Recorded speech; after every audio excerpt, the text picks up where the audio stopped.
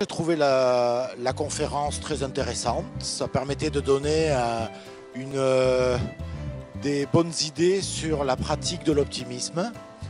Donc, euh, je trouve que c'est riche sur le plan personnel et qu'on peut de suite mettre en application.